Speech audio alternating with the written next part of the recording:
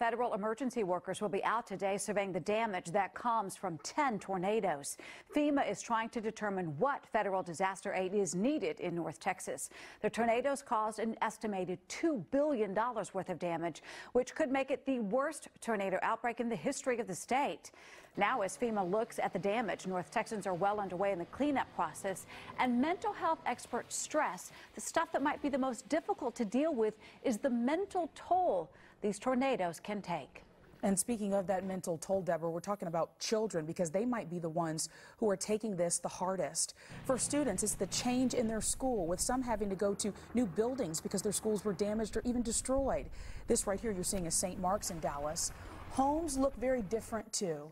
Any adult could struggle to cope with that level of change. Counselor Leigh Richardson the founder and clinical director of the Brain Performance Center is concerned about those coping with it all, especially children, because we grown-ups have more experience when it comes to adapting to new normals.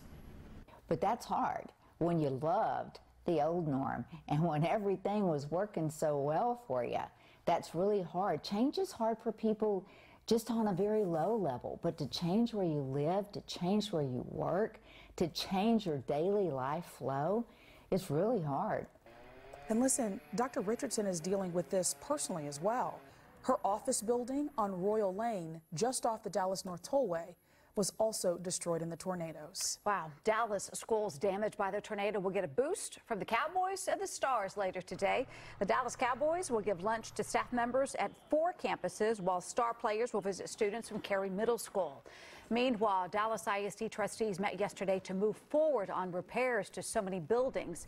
And the Dallas ISD is dealing with a drop in attendance. The principal at Thomas Jefferson High School told our partners at the Dallas Morning News that around 200 students have been absent each day since the storm. You can find more information about the recovery from the tornadoes, as well as links on how you can help storm victims on our website.